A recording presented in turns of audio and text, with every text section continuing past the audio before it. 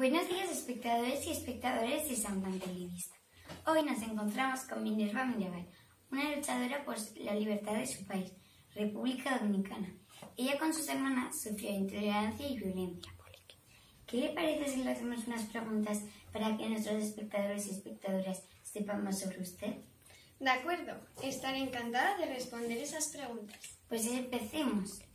¿Cómo fue su infancia? ¿Dónde y con quién la pasó?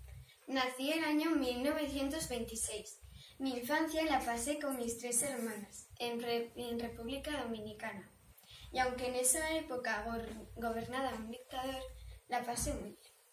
Sabemos que a los 15 años usted empezó a estudiar. ¿Cómo le fue? Desde pequeña empecé a estudiar.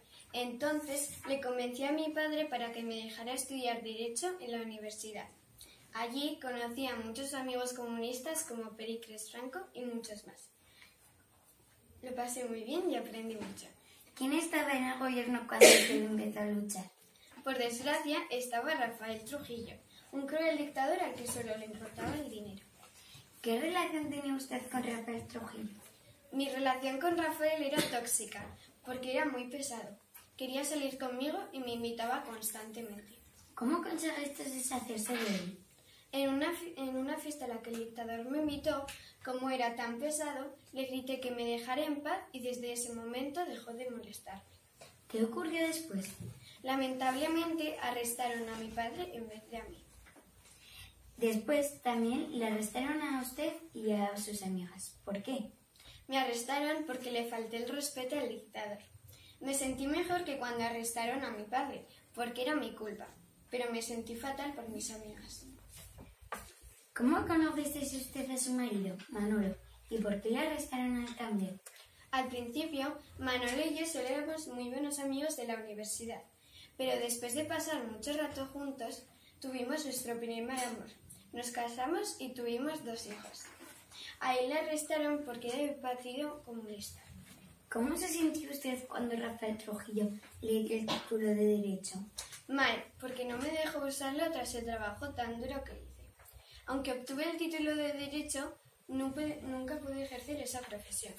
A pesar de ello, me siento muy orgullosa del trabajo que he conseguido. ¿Usted se siente orgullosa de lo que representa para su país? Orgullosísima del trabajo que realizamos en República Dominicana, porque después de que nosotras muriéramos, mataron a Rafael Trujillo. Además, el Día Internacional de la Eliminación contra la Violencia de la Mujer se celebra cada 25 de noviembre, en honor a nosotros. Bueno, usted ha hablado de su muerte. Si no le parece un tema muy delicado, ¿nos podrías decir cómo fue su muerte? Claro que se lo voy a explicar. Cuando íbamos a visitar a nuestros maridos a la cárcel, un coche nos cortó el paso. Nos mataron a machetazos y tiraron nuestros cuerpos al vacío. Bueno, ya hemos llegado a la final de la entrevista. Espero que se lo haya pasado bien. Por supuesto, espero que ustedes también lo hayan pasado muy bien y gracias por esta entrevista tan agradable. Y también quiero agradecer a los espectadores y espectadoras por hoy estar aquí. Y un saludo.